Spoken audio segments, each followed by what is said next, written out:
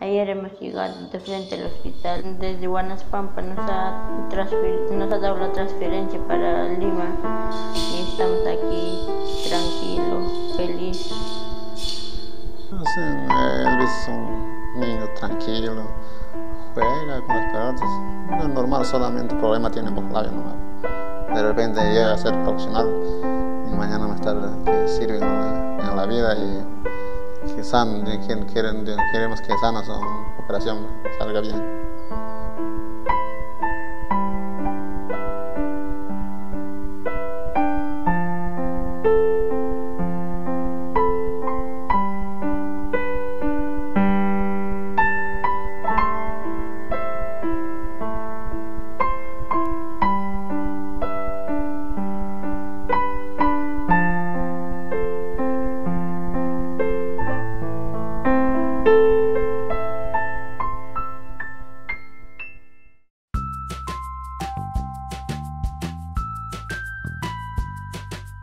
Soy la doctora Vieslava Pawlikowski, jefa del programa multidisciplinario de los pacientes con labio y paladar fisurados del Instituto Nacional de Salud del Niño de San Borja.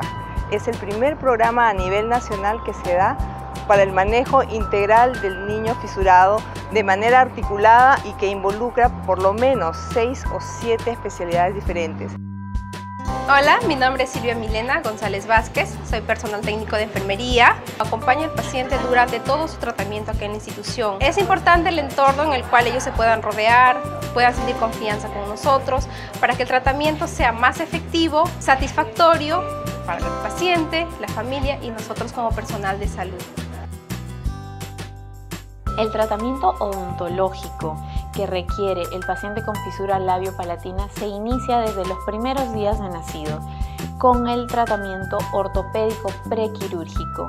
Después el niño eh, necesita todo un tratamiento a corto, mediano y largo plazo. Todo un proceso desde 0 años hasta los 18 años con un tratamiento odontológico integral. Buenos días, mi nombre es Yoconda Albino Picoy, yo soy terapeuta de lenguaje. Eh, mi labor acá es incorporar a los niños con fisuras para que ellos salgan adelante en su escolaridad, para que puedan quedar en óptimas condiciones en el habla, voz, succión, deglución.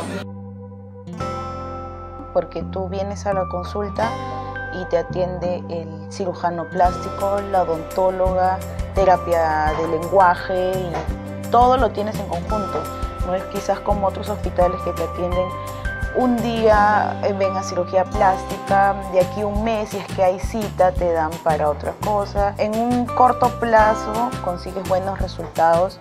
Lo más importante me parece que nos han dado la esperanza de que el bebé, al verle nacer, como tú lo ves nacer, duele bastante.